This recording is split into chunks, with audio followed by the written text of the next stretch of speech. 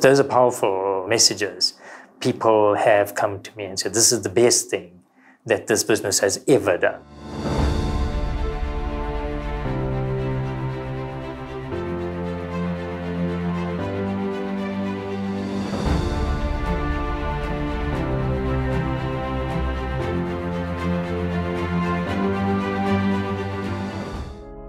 I joined the business about two years ago. One of the things that stuck out for me was the culture, the difference in the culture from where I'd come. So, in terms of ensuring that the business was profitable, sustainably profitable, focus on ownership and accountability, uh, empowerment of people, I saw that as areas for, for improvement and something that could add a lot of value to uh, our business. When we think about the culture for, for ISA, what's aspirational for us is to have a high performance and a high engagement culture. So finding Stef and the UGR process was actually quite interesting. I hadn't come across UGRs previously, and it might might be interesting. Maybe there's something that we can take out uh, from that and, and use going forward, and you know just help people uh, understand something different and uh, may, maybe useful in the work or personal lives. We weren't really looking for somebody to lead a program at the, at the time. And then Stef got onto stage and he did his thing as he normally does. And he left. And during the break, Celeste and I said, hey, we've got to engage this guy.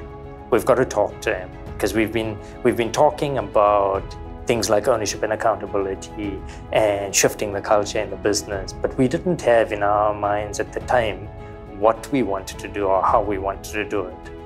And we thought this was a fantastic vehicle. And, and, and also seeing how the people that were there at the Leadership Summit, how they responded to it, was amazing. What I have really valued about the UGR journey is that it has given me a framework to monitor and make sense of my observations in the workplace. And so, so we have become deliberately and consciously aware of our behaviors and actions and how they influence the outcomes that we achieve, both positively and negatively. The way the program is structured and set up in terms of a focus on the individual, on the leadership as a collective, but also systemically, um, it allows for you to very quickly integrate it into your business. And by integrating it, it's something you ensure that it continues. So I found that really helpful um, is that it's not this is how we do business and the UGRs are running alongside, but rather it's so integrated into, into everything we're trying, we're trying to do. What we've started to, to notice and, and experience in the business since starting the, the UGR journey is really that there's a common language that we as leaders use. And in most cases, it's used to hold each other accountable. Um, and in having a common language, it provides a sense of safety for people to challenge, even up the, the leadership structure. And, and, and that for me, I think, has been so empowering for people. So, what I found with the UGRs, um, the implementation of the UGRs in this organization, is um, I'm very grateful for what it has done for our leaders. I found that our leaders have been more intentional in their approach. There was a more positive style of leadership, and it's being felt on the floor, and it actually shows in the results. Um, the team has now changed their culture to we're now a culture of winners.